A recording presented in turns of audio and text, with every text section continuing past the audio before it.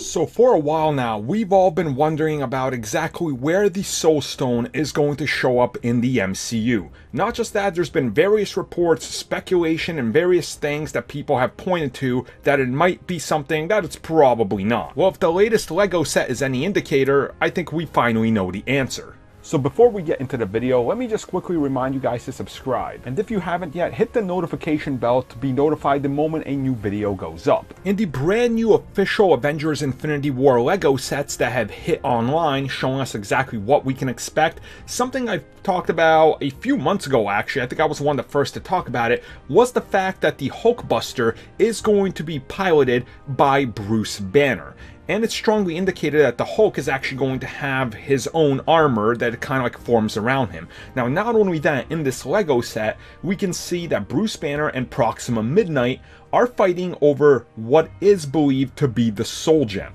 Now, of course, there's been previous indications that the Soul Stone would actually be appearing, and that's why everybody's gathering in Wakanda to defend it. So this is probably just another hint that this is in fact true.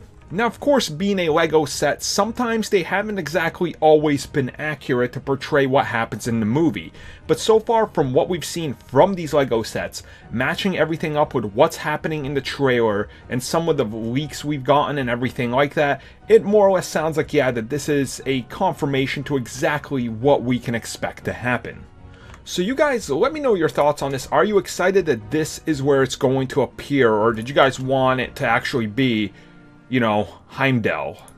Because